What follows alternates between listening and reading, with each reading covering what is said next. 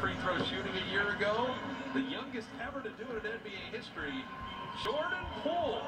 And that's cool, and Steph gave him the trophy for the best free thrower in the entire NBA a year ago. And Jordan 92.5, Steph 92.3.